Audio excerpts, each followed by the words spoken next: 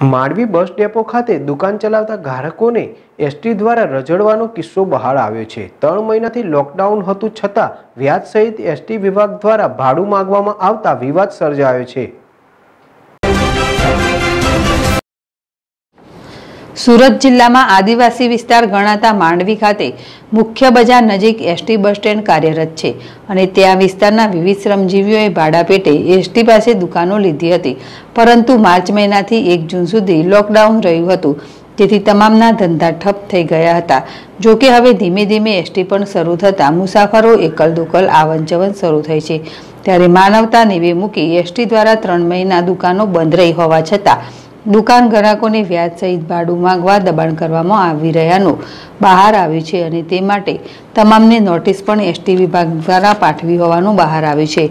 નાના બસ સ્ટેન્ડમાંથી મોટું bus stand નહીં બનતા એસટી વિભાગ દ્વારા કેટલીક દુકાનો પડાવવામાં આવી હતી. રોજિંદી આવક ઊભી કરવા ગ્રાહકોને કોર્ટ વચન આપી હરાજી કરાવીને દુકાનો આપવામાં આવી હતી. જે પ્રમાણે કહેવામાં આવ્યું તે મુજબ યોગ્ય ધંધો પણ થતો ન હોવાનો પણ આક્ષેપ કરાઈ રહ્યો છે. માંડવી બસ સ્ટેન્ડ ખાતે નાના મોટા મરી કુલ સત્યાવીસ જેટલા ગ્રાહકો છે. લોકડાઉનમાં તમામની આજીવિકાનો પ્રશ્ન ઊભો થયો હતો. ત્યારે હજુ માંડ દુકાનો શરૂ થઈ છે અને લોકડાઉનના સમયનું ભાડું માફ કરવાના બદલે વ્યાજ સહિત એસટી દ્વારા વસૂલવાના તગલખી ફરમાન કરવામાં આવતા ગ્રાહકો હવે ભેગા થઈ રહ્યા છે અને આગામી દિવસોમાં મક્કમ લડત આપવાની પણ નક્કી કરાયું છે. ધર્મેશ પટેલ જેડેશ ટીવી, માંડવી.